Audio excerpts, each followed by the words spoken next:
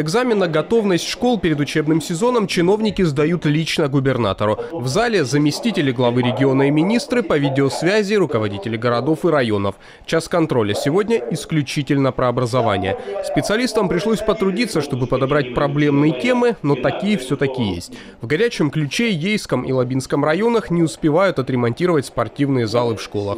Несмотря на то, что деньги перевели несколько месяцев назад, местные чиновники, как под копирку, обещают закончить попозже. На сегодняшнее утро готовность уже 67%. Подключили еще одну бригаду, работают до 22.00 без выходных. И 5, 5 сентября мы закончим. 8 июня доведены средства краевые, отыгран конкурс, зашел подрядчик. Сегодня они на объекте, до 11 сентября работы будут выполнены обязательно. Ну, Каждый находим кучу оправданий, объяснений, почему у нас не получается.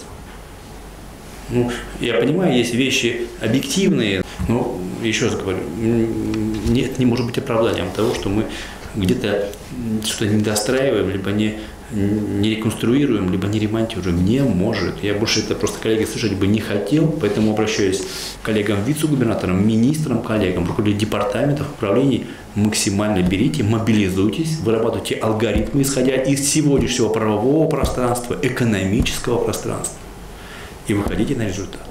К результатам вопросы у губернатора есть и по строительству спортивных залов. В ряде кубанских школ их просто нет. Детям приходится заниматься на улице и в приспособленных помещениях. Венимин Кондратьев давал поручение исправить ситуацию. В прошлом году в 11 школах уже появились новые спортзалы. В текущем рассчитывали построить еще 6, но за это время изменилось законодательство и ужесточились требования к такому роду объектов, что привело к их удорожанию произошли изменения в градостроительном а, кодексе, которые сегодня не дают нам возможность, не дали возможность строить те спортзалы, которые мы строили в 2018 году. Цена, во-первых, их увеличилась с 12-15 примерно миллионов. За такую цену мы строили спортзал в 2018, увеличилась практически до 40 миллионов. Но даже в таких условиях экономить на детях недопустимо, сказал губернатор. Вениамин Кондратьев дал поручение закрыть вопрос с отсутствием спортивных залов в школах уже в ближайшем ближайшем будущем. Наши объяснения, я уже не раз говорил, они никому не нужны. Там, где спортзалов в школах нет, мы еще три года назад договорились, что они должны быть. И деньги на это я дал поручение в бюджете предусмотреть. И предусмотрели. Но спортзалов так до сих пор и нет в некоторых школах.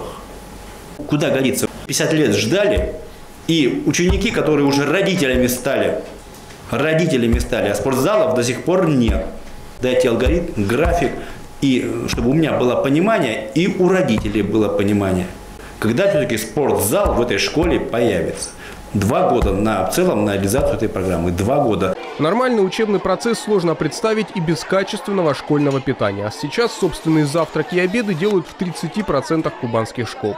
Частично образовательные учреждения едой обеспечивают специализированные комбинаты. В остальных случаях поставкой питания по контракту занимаются предприниматели. И здесь качество не всегда на высоте. В прошлом году от родителей поступило 30 жалоб. Венимин Кондратьев попросил проверить, насколько хорошо организовано питание в школах. Мы в целом сегодня отвечаем э, за жизнь подрастающего поколения и здоровье тоже. Поэтому отдать на откуп ну, э, можно и нужно. Там, где на самом деле мы имеем положительный очень результат, а в первую очередь это отклики родителей о питании детей в школах. И моя точка зрения, там, где есть пищеблоки, где можно готовить, значит, там нужно готовить школьное питание непосредственно в этих пищеблоках этих школ. Но там явно, где нету пищеблоков, ну, конечно, питание нужно привозить. Даже если это э, цех по производству э, школьного питания, закрепить все равно за нашими местными производителями, пусть у них покупают. И мы будем понимать, какие, э, каким продуктом кормят наших детей в школах. Василий Ильич, возьмите, просмотрите и проверьте с точки зрения того, откуда продукты-то. Вопрос лежит, может быть, в компетенции муниципальных образований но здоровье детей, качество питания лежит 100% в нашей зоне ответственности. Оценку всей проведенной работе теперь поставят родители школьников и сами ученики. Через три дня за парты по всей Кубани сядут 672 тысячи ребят.